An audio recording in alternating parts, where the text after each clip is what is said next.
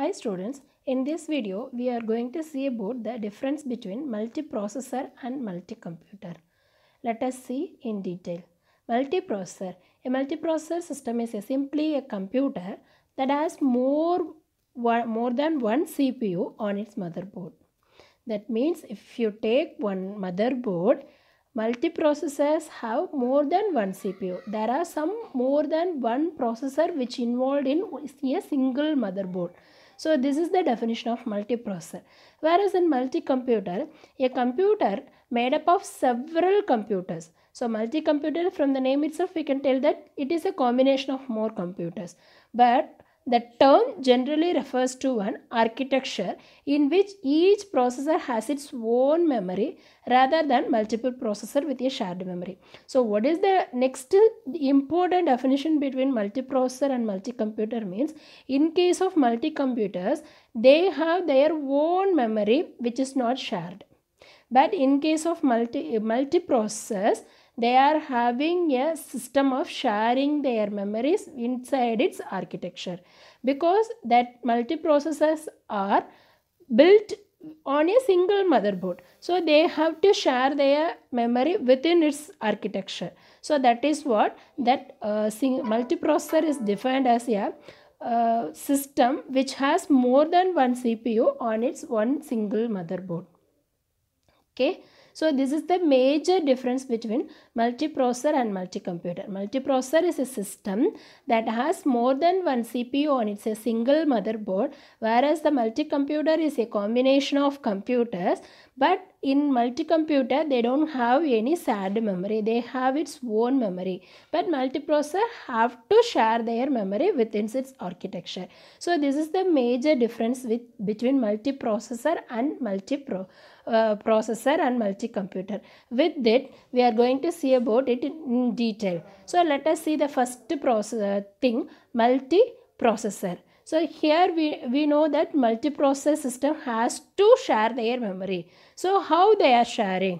In what basis they are sharing their memory and their hardware resources?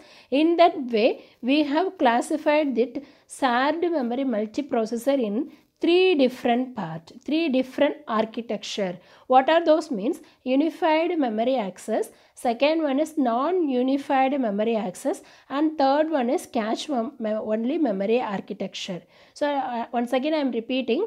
Based on how the memory is shared in multiprocessor and how the hardware resources are distributed and shared in within the system we classified the shared memory multiprocessors into three categories first one is unified memory access. Simply it is called as UMI UMA and non-unified memory access that is called as NUMA NUMA and third one is cache only memory architecture that is called as COMA. Okay, so let us see one by one. First architecture is unified memory access. It is a common architecture. It is a common thing where it's a simple and traditional thing. So whereas in uh, unified memory access, so you have the system where all the uh, that physical memory is equally shared to all uh, processors whereas in the right side you will be seeing the architecture of your, your UMA model where P1, P2 up to Pn are the processors because multiprocessor have more than one processor. That these processors have the equal access with their memories. So in the down you can see n number of memories are there. So these memories and these processors are connected and interconnected with the system buses or crossbar or multi-stage network. This is called as internetworking devices. Where upon, uh, moreover this IO devices also will share their memory. So this is the uh, sample a simple architecture of unified memory access uh, system. So it is also known as tightly coupled system.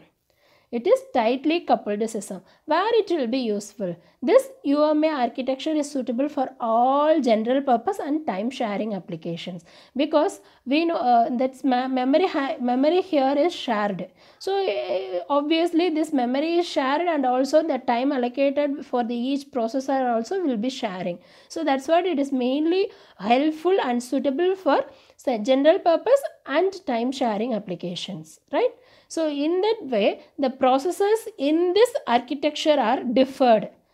Differed. On what basis they have differed means which processor is having the executable capability and which processor is not having the executable capability. So in that way, the processors in this assembly are classified into two types. One is symmetric processor, another one is asymmetric processor.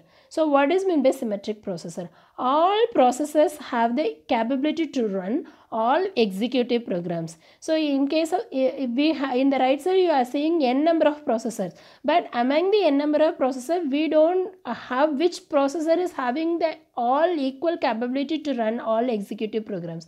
So that kind that uh, the, that we need to identify. So that kind of processors are called as symmetric processors. Or asymmetric processors are only the subset of processes which are executable capability. So only the uh, small set of processes only having the ability to execute your uh, programs. So this kind of processes are called as asymmetric processes okay? I hope you understand. So what is the first type means unified memory access. In this model the physical memory is shared among all memory all processors here you have the n number of processor and you have the uh, n number of shared memory. Sms is nothing but shared memory. It starts from sm1 to smn similarly in the uh, uh, upside you are having uh, n number of processes starting from P1 to Pn. So these are shared, uh, these are exchanged his in information through a system interconnect bus network or crossbar or multi-stage network. Okay. Now we move on to the next type of architecture is called as non-unified memory access. So this is little different from unified memory access. How it is differed? First thing is that access time for the processor is limited. So the access time because in the first model it is equally shared among all processor. Here the access time of that memory of uh, memory is limited for some processor. Say for example some processors uh, it's having its own local memory it is it, it only has the access to uh, privilege to access local memory. So that kind of uh, that kind of assign, uh, assessment is is uh, de designed in this uh, architecture. So what are those means? Lm1 p1 lm2 p2 up to lmn pn in the left side you can see lm1 p1 lm2 p2 lmn PN. So what is that means? Those are called as shared local memories. Okay. Here LM1 is the local memory of processor P1 and LM2 is the local memory of processor P2. Like that LMN is the local memory of processor PN. So this is a shared local memory of this uh, one network. So this uh, network, this node is connected with the global network. So how it is connected? How it is connected means in a clustered network it is connected. So it is a clustered arrangement where the clustered interconnection network is playing a major role where each processor is connected with cluster shared memory in a network. Uh, like that it forms one cluster 1. Similarly, you can have n number of clusters. So cluster 1 is having the assembly of each processor with, with its one with its individual shared memory which are interconnected by cluster internetworking connect, uh, networks. Similarly, you will have a n number of clusters. These n number of clusters are again is going to communicate with a global internet network. So that is called as GIM global internet interconnect network. How it is sharing means using this global, uh, global internet network it is shared. Again you have a one more globally shared memory. So that and that will also will be interchanged here. So you, this is the hierarchical hierarchical cluster model which comes under the type of NUMA, non-unified memory access. Here each processor is having one local memory.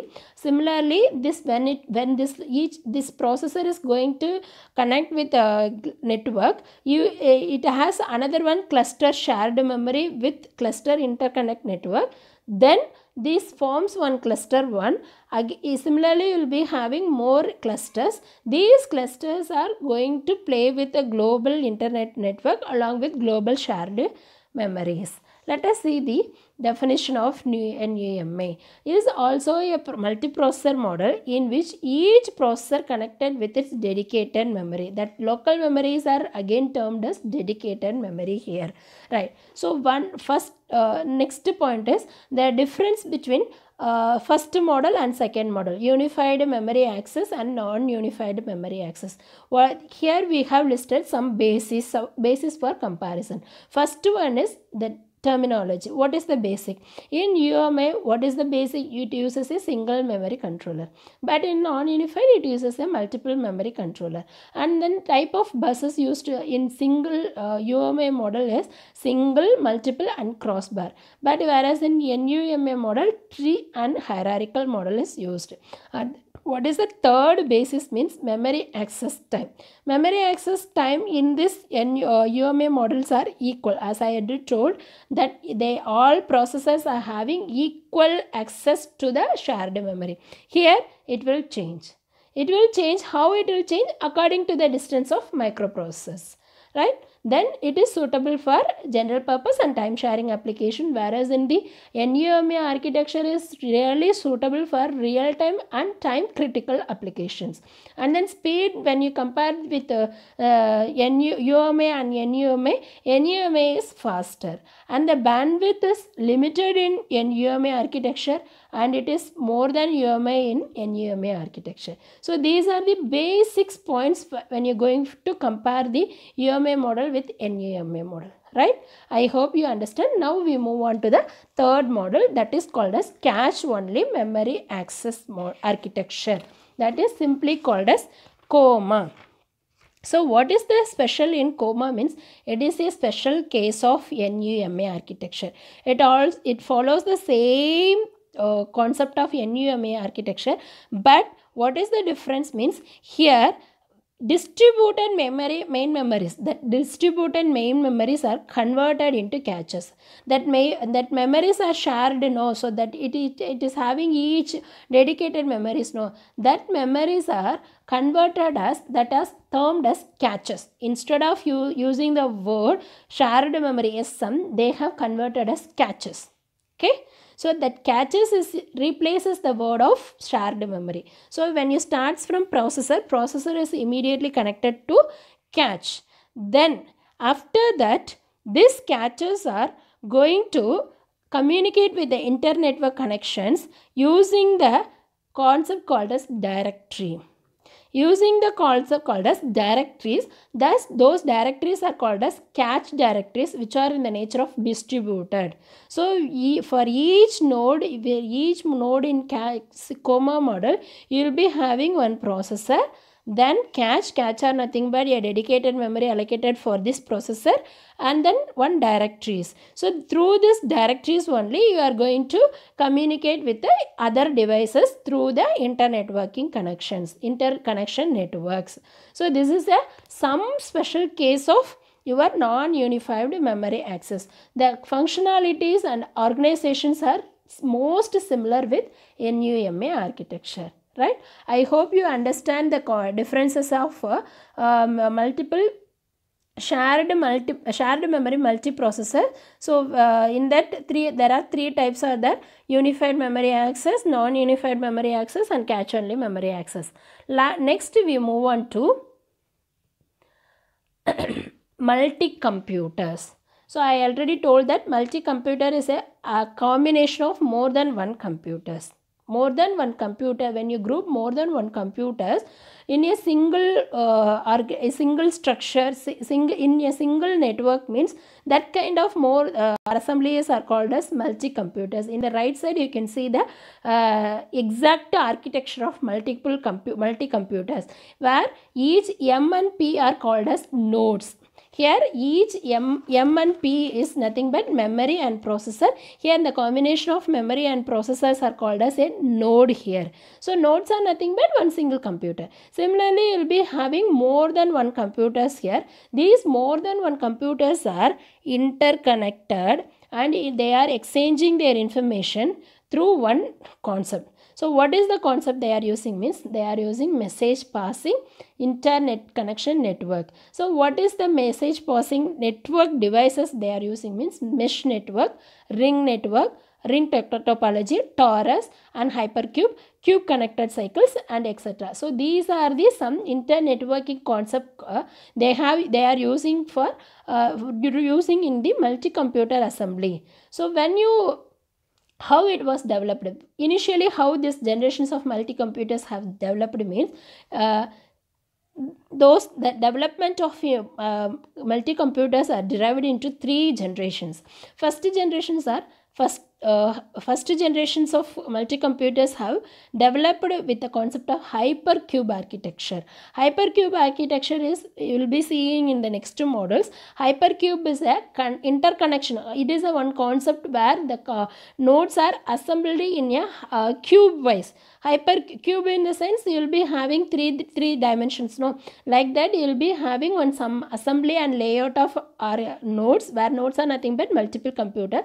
That is the first one foremost uh, architecture they have proposed in the generations of first generation. The second generation again they have changed the layout designs in a mesh connected architecture. In a mesh connected architecture with medium grain multi-computers.